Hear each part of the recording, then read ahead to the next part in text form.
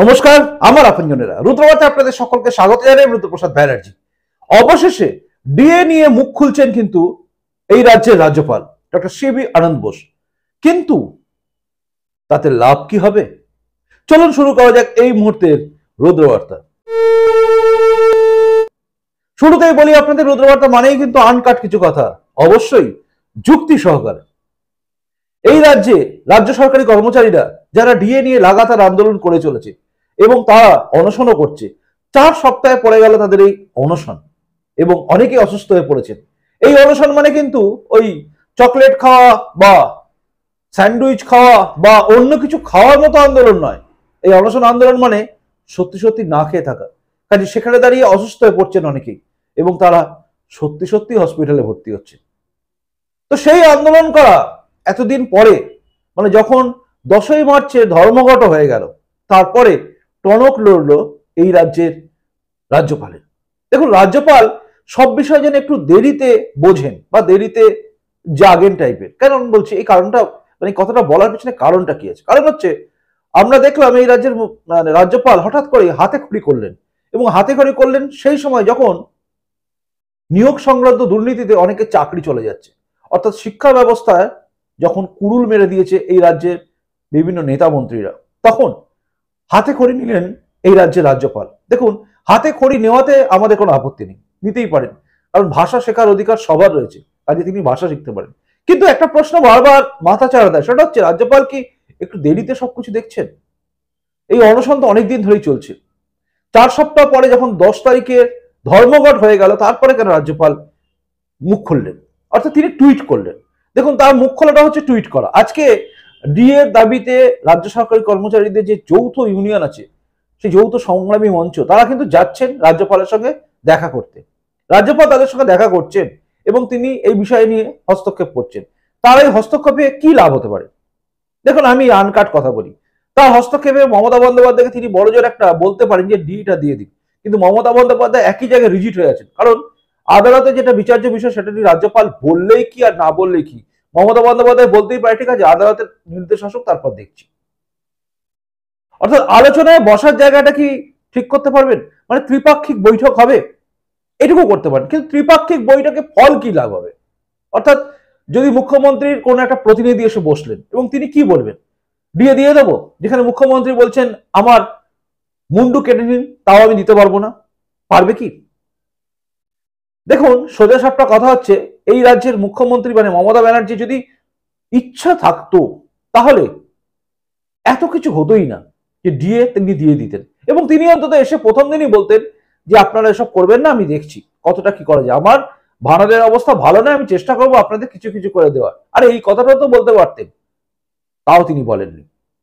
উল্টে আমরা দেখছি কি, বিভিন্ন জায়গায় যারা ধর্মঘট করেছিলেন মানে যাদের ন্যায্য দাবিতে যারা ধর্মঘট করেছিলেন সেই সমস্ত স্কুল শিক্ষকদের অনেক স্কুলে ঢুকতে দেওয়া হয়নি।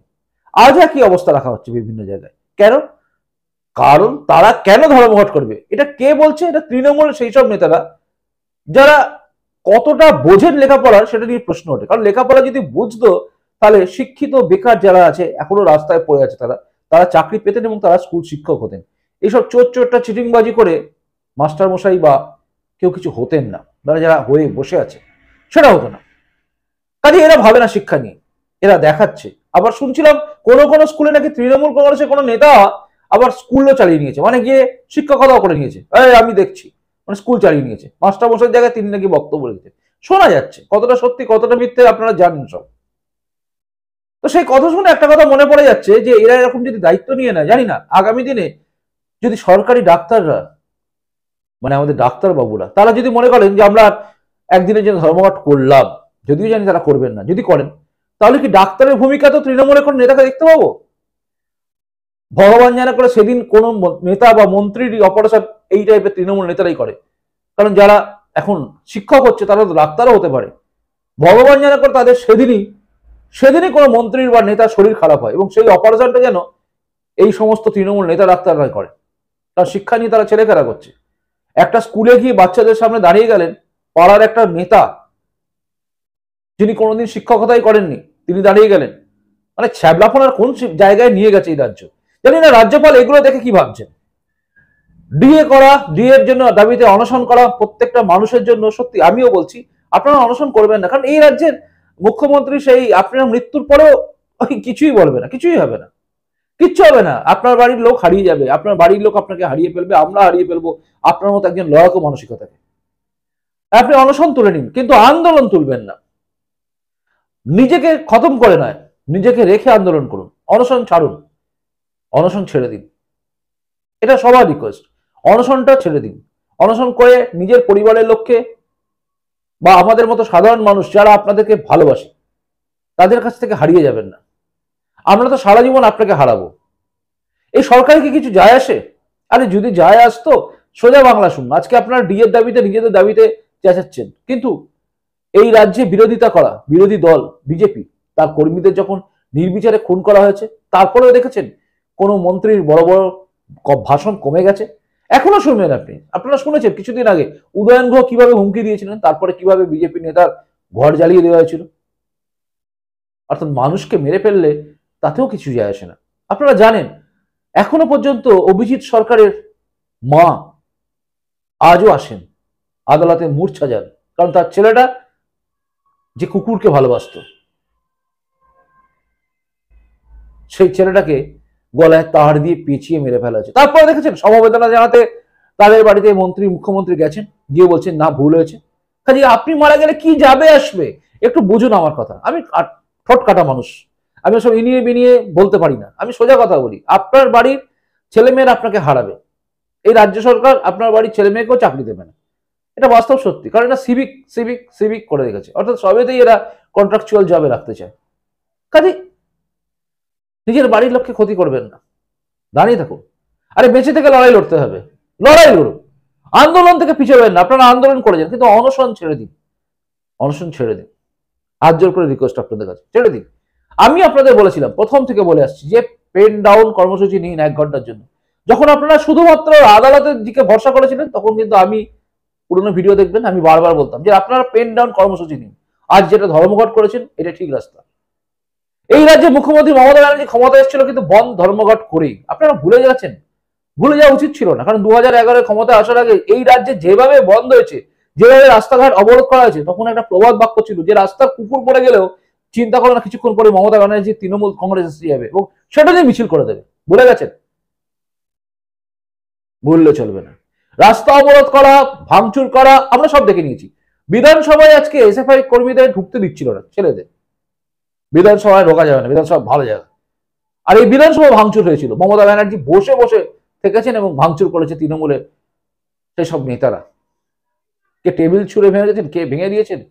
কেউ আবার বুড়ো হাবড়া লোক, সে আবার দেখি ভাঙতে গেছে, গিয়ে নিজেই কষ্ট পাচ্ছে। তাকে আবার একজন বলছে এ আপনি করতে যাবেন আপনার বয়স হয়েছে, থামুন। মানে সব পারে এরা। তো সেই ভাঙচুর করা তৃণমূল কংগ্রেসের মমতা ব্যানার্জি আজ বলে আমরা ধর্মঘটের বিরুদ্ধে আছি। কিন্তু আপনারা করে যান। আপনাদের সব মানে জনগণ, আমরা আপনাদের পাশে আছি। আপনাদের চিন্তা করতে হবে না। আমরা আপনাদের পাশে আছি। প্রতিটা জনগণ আপনাদের পাশে। বিশেষত রুদ্রবার্তায় যে সমস্ত আপনজন আছেন, তারা সবাই আপনাদের পাশে আছে। তবে একটা কথা বলি, শেষ কথা। আন্দোলন শেষ হয়ে যাবে। আপনার ডিএ পান আমরা সবাই চাই। কিন্তু আপনারা মনে রাখবেন, আমরা কিন্তু আপনাদের জন্য ছিলাম। কাজে যখন আমরা কোনো কাগজপত্র নিয়ে যাব আমাদের দিকে মুখ ঘুরিয়ে নেবেন না। বা কোথাও যদি হসপিটালে কেউ ভর্তি হয় নার্স বা ডাক্তারবাবু, ভাববেন আপনাদের পাশে কিন্তু একজন ছিল। সবাই ছিলাম আমরা, একদিন সবাই আছি। যারা স্কুলের মাস্টারমশাই, আপনারা যখন ডিএটা পেয়ে যাবেন, ভুলে যাবেন একদিন আমরা সবাই আপনাদের হয়ে চেঁচিয়েছিলাম কাজে আমাদের বাড়ির কেউ যখন যাবে, তাদের সঙ্গে ভালো ব্যবহার করবেন। ব্যাস, আমরা সাধারণ মানুষ সেটাই খুশি। আমরা কিছু চাই না, আমরা বেশি কিছু চাই না। আমরা চাই ভালোবেসে কেউ দু একটা কথা বলল, ব্যাস। আরে, আপনি জিতে নিয়েছেন আমাদের। এটা আমরা চাই। কাজে আগামী দিন এরকমই হোক। আপনারা করুন আন্দোলন, আপনাদের আন্দোলনের সঙ্গে আছি, কিন্তু নিজেকে শেষ করে নয়। আবারও বলছি, নিজেকে শেষ করে নয়। এই রাজ্য সরকার সেই সরকার নয়, যার মানবিক দিক আছে। নেই। লজ্জাও তো নেই। থাকলে পারে তো আপনাদের পাশে বসতো। আজ সেই সব ছেলেদের পাশে বসতো। যে ছেলেমেয়েরা আজও রাস্তায় বসে থাকে, পালা করে বসে আছে রাস্তার মধ্যে, তিরপল খাটিয়ে। রোদ্দুরের মধ্যে, সবকিছুর মধ্যে বসে আছে। স্বপ্ন তারা দেখে আমাদের চাকরিটা হবে, কিন্তু চাকরি দেওয়ার জন্য মমতা ব্যানার্জির একদিনও মনে হয় এদের পাশে গিয়ে দাঁড়াই, বসি। আরে মানবিক দিক নেই। কবে আর বুঝবেন আপনারা? নিজেদের শেষ না করে এবার উঠুন আর আন্দোলন চালিয়ে যান। অনশন ছাড়ুন। যেদিন অনশন ছাড়বেন, আমিও যাব আপনাদের কাছে। অনশন ছাড়া দেখতে। ভালো থাকুন। আন্দোলন চালিয়ে যান। আমরা আছি আপনাদের পাশে। নিশ্চিন্তে থাকুন। এটাই ছিল এখনকার রুদ্রবার্তা। রুদ্রবার্তা মানে আনকাট কিছু কথা। অবশ্যই যুক্তি সহকারে। যদি মনে হয় এই চ্যানেলটা এতক্ষণ দেখার পরে এরকম কথা শুনতে আপনার ভালো লাগে চ্যানেলটা সাবস্ক্রাইব করবেন। থাকবেন আমার আপন জন হয়ে আমার পাশে। এখানে কোনো সাবস্ক্রাইবার হয় না। এখানে প্রত্যেক হয় আমার আপন জন আসি। নমস্কার বন্দে মাতরম ভারত মাতার জয় হোক। জয় হিন্দ।